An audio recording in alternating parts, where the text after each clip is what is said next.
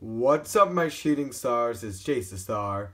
Today I'm going to be unboxing another Hot Wheels car and it is the Purple Roller Toaster.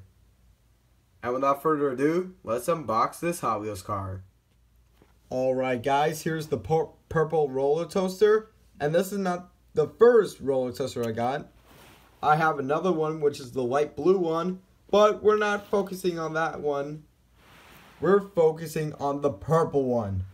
And I honestly like the the golden toaster with the face and the glasses and the wheels and the flames. It looks amazing and how it says hot and fast and the roller toaster logo and the golden plug on it. And here's the the front side, the other side. Once again, this side looks amazing.